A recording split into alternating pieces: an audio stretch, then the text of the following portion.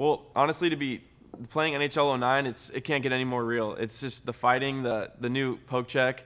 I mean, you can lift the guy's stick now. I mean, every single year they seem to find more and more to add to it to make the game more real on the video game console.